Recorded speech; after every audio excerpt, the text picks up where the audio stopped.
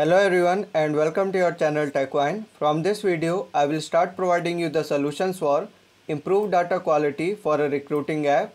And in this video, we will see the solution for this first submodule.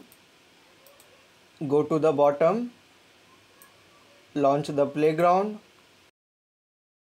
open setup, go to object manager and search for review. Open this. Go to field and relationship. Click new. For the data type we have to choose formula. Click next. For the field label copy this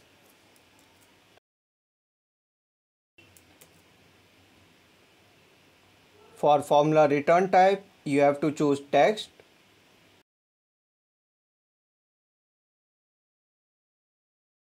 Go back, copy this formula, paste it. And check it for any syntax error. And you can see there are no syntax errors. Click next choose visible then save and new. For the data type again choose formula. For field label copy this position title. For formula return type it should be text again go back. Copy this formula. Paste it. Check it for any syntax errors. Click next.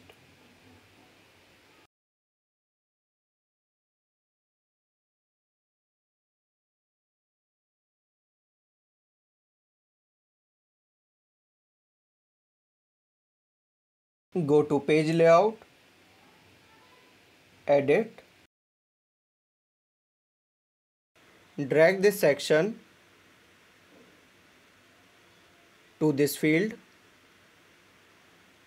For the section name copy this